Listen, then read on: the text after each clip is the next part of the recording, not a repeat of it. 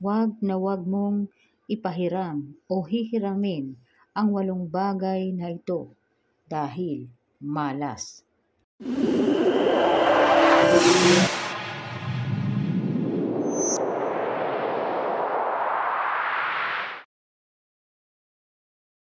Napakadaling ipasa o ipahiram ang mga gamit o bagay na ito dahil ito ay nagpapakita ng kagandahang loob o ng ating pagmamahal.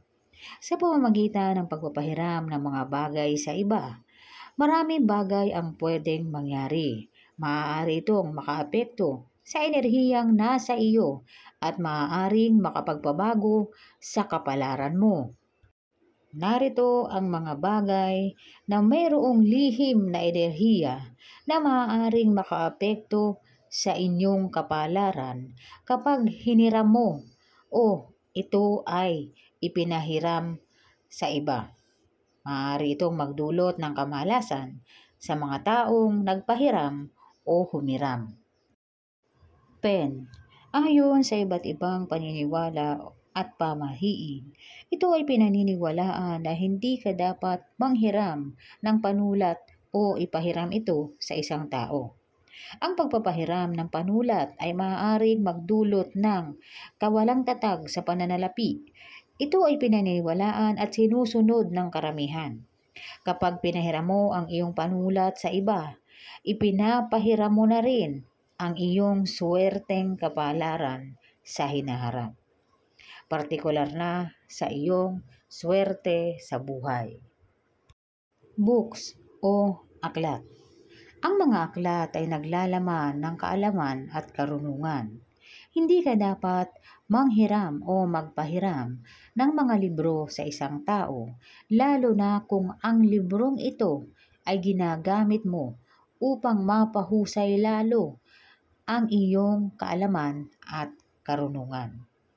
Kung ang iyong kaibigan ay humiram ng parehong libro na ginagamit mo, maaari kang bumili ng bagong libro at ito ay iyong iregalo sa iyong kaibigan. Ngunit huwag mong ibabahagi o ipapahiram ang mga bagay na ginagamit mo para sa iyong sariling kaalaman. Ang pagbibigay o pagpapahiram ng mga librong ginagamit mo na para sa pagpapalakas ng iyong kaalaman at karunungan ay isang malakas na indikasyon na ang iyong kaalaman at karunungan ay makukuha ng iba.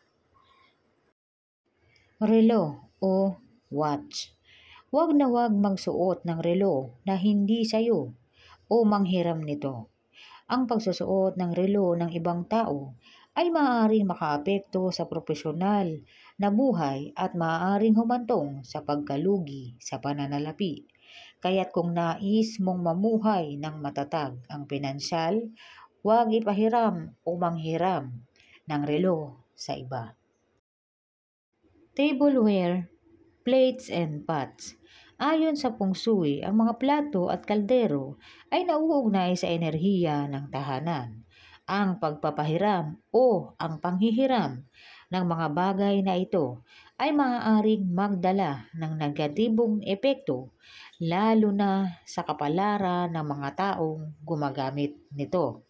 Ito ay maaaring magdala ng masamang enerhiya sa bahay kung saan ito ginagamit o matatagpuan. Maaari itong makaapekto sa mga taong nagmamay-ari kaya't iwasan ang pagpapahiram nito. Wallet o purse. Ang pagpapahiram o ang panghihiram ng wallet o ng purse ay nauugnay sa pag-agos ng pera at hindi inaasahang gastos. Ang enerhiyang nasa iyong wallet ay may kinalaman sa iyong kapalaran, kaya't huwag itong ipapahiram sa iba salt o asin. Ang asin ay isang mahalagang sangkap at may malakas na enerhiya. Ang paghiram o ang pagpapahiram sa asin ay maaaring magdulot ng negatibong epekto at makakaapekto ito sa iyong kapalaran. Kung may humingi sa iyo ng asin, mas mabuting huwag itong direktang iabot o maaaring bigyan sila ng pambili ng asin upang hindi na nila hiramin ang asin na meron ka.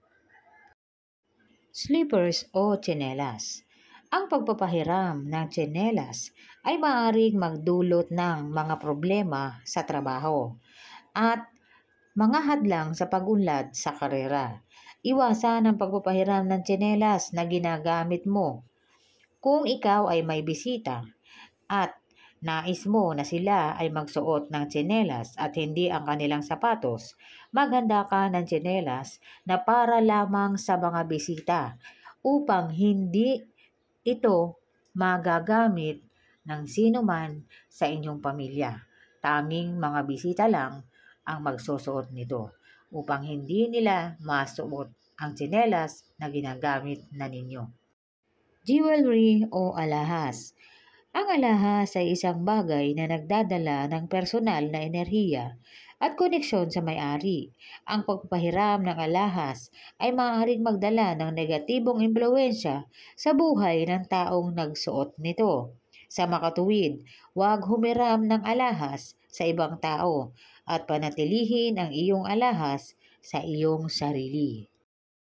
Ayon sa prinsipyo ng pungsuy, may mga bagay sa ating tahanan na hindi dapat ipinapahiram sa iba. Ang dahilan nito ay hindi lamang sa material na kahihinatnan, kundi pati na rin sa mga posibilidad na makaakit ito ng negatibong enerhiya.